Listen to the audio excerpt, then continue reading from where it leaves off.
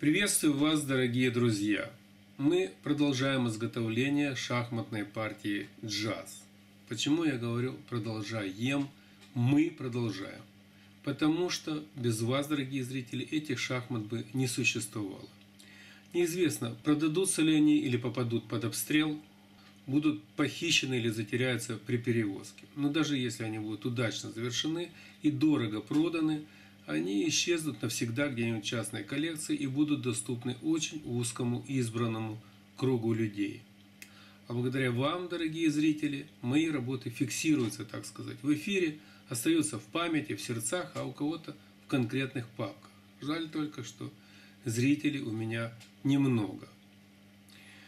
Поэтому мы с вами сегодня будем изготавливать два новых элемента для белой пешки парня, играющего на альфа-сфере. Это столик и ноутбук.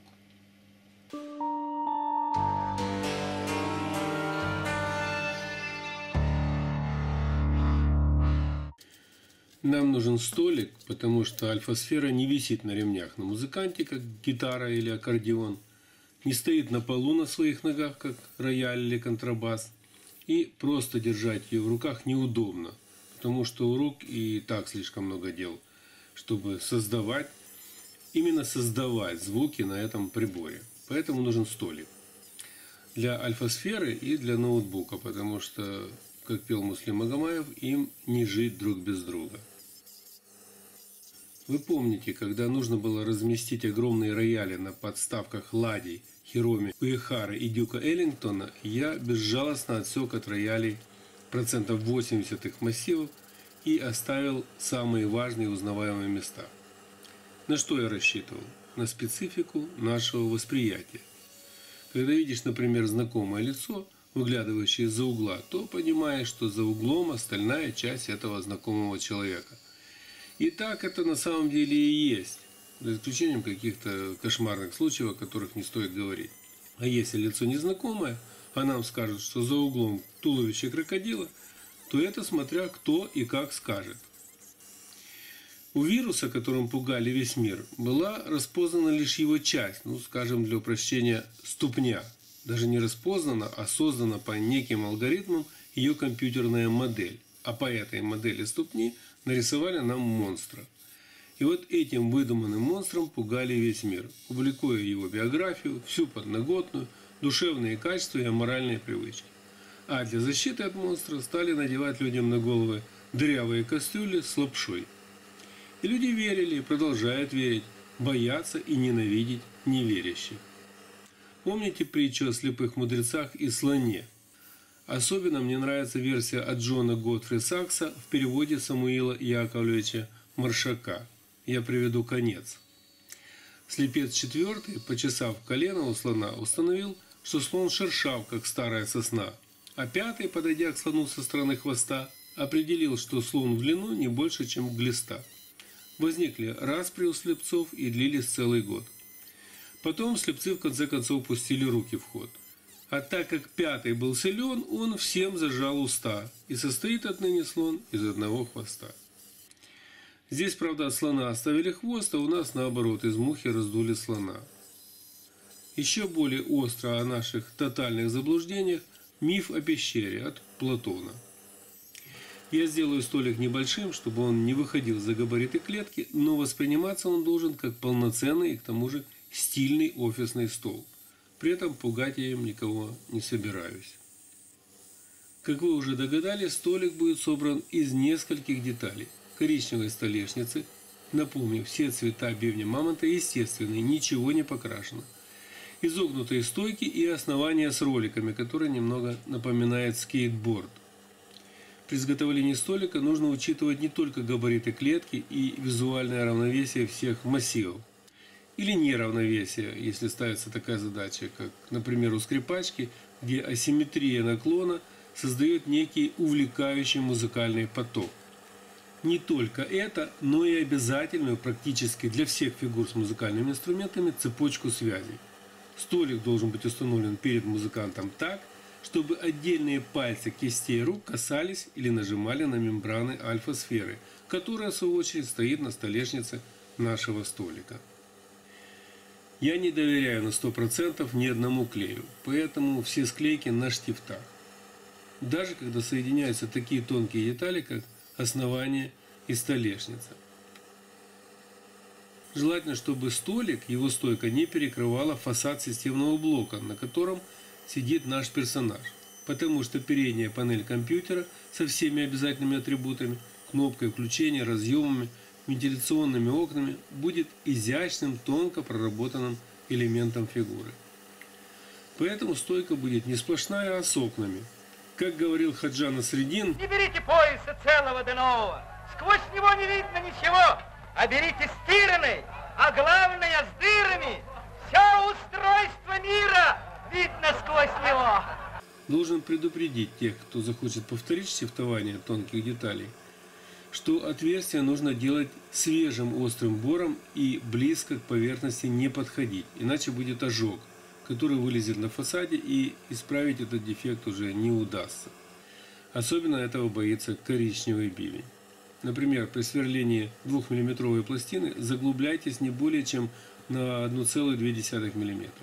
Для штифта диаметром 0,6-0,8 мм этого вполне достаточно. Монтируем столешницу и столик готов. Получилось неплохо, я почти доволен. На этом столике при желании можно не только альфа-сферу с ноутбуком поставить, но еще и бутылочку коньячка с двумя рюмочками, а внизу чашу с фруктами. Изготовление ноутбука начинаем с экрана, с подбора и проб материала. Можно было бы сделать пластинку из того же кокоса, но коричневый экран вообще не проходит, а без картинки означало бы, что ноутбук не работает. А вот перламутр похож на светящееся стекло с каким-то рисунком, то, что нам нужно.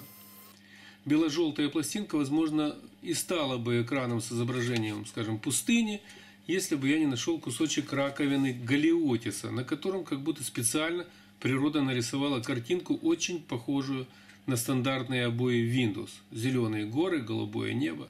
Просто невероятно.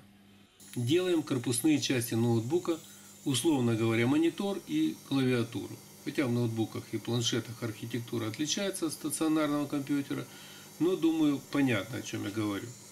Непонятно, как назвать все то, что вообще я сейчас делаю. Скульптура? Зачем тогда такие подробности, поиски цветных материалов? Макетирование – хорошая профессия, но для художника звучит прозаично.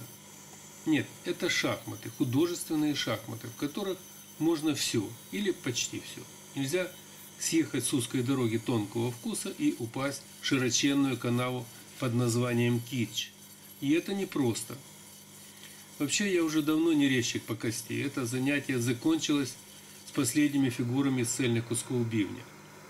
Теперь я назвал бы свою деятельность скульптор-конструктор – то есть, совместив два любимых увлечения, я теперь могу не горевать об утраченной профессии, которую учился в ВУЗе и которой отдал 13 лет.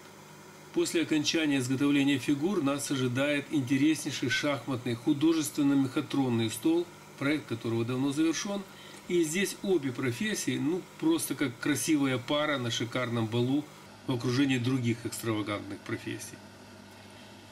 Монитор вырезан, Разве эта картинка на экране не волшебство природы? В клавиатуре тоже нет ничего сложного, просто много кнопок маленького размера. И хочется максимально, но без фанатизма приблизиться к реальности. Чтобы сделать ноутбук, я скачал картинки из интернета. Привычные слова – интернет, компьютер, ноутбук. Помню, году это в 1970-72 я сидел возле телефона – естественно, стационарного с наборным диском и делал для него красивую полочку из бука на стену. Только-только наша с соседями коммунальная квартира стала только нашей. И я переставлял телефон из коридора в комнату. Я спросил у отца, было бы здорово, если бы на телефоне был маленький экранчик, а снизу небольшая клавиатура, как в печатной машинке. Звонишь в какое-нибудь информационное бюро и задаешь вопрос – печатаешь его, а на экранчике тебе показывают ответ. Чей это год рождения, адрес, отрывок из нужной статьи. Как ты думаешь, такое возможно? Отец сказал, технически я думаю это возможно, но задача очень сложная. Наверное, что-то подобное будет, но лет через 50. И вот прошло 50 лет. И сейчас мало кто задумывается над тем, что произошло техническое чудо. И ноутбуки и айфоны лишь маленькая часть гигантского айсберга технического прогресса. Даже не айсберга, а ледокола, который ломает как льды тайны нашего мироздания. И мощь его одновременно и грандиозна, и небезопасна. Ноутбук готов. Можно подключать к нему альфа-сферу. Жалко, что мой лысый красавчик Шарик спрятался. И от него осталась маленькая-маленькая макушка. Он был такой красивый, полированный и кругленький. Ничего. Он сыграл свою роль.